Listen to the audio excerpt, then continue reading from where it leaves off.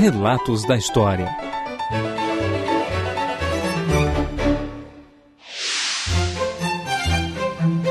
Ludwig van Beethoven nasceu presumivelmente em 16 de dezembro de 1770 em Bona e morreu no ano de 1827 em Viena.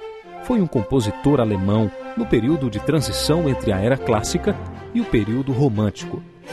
É considerado um dos maiores compositores de todos os tempos, por suas nove obras sinfônicas. A Nona Sinfonia foi a obra-prima de Beethoven.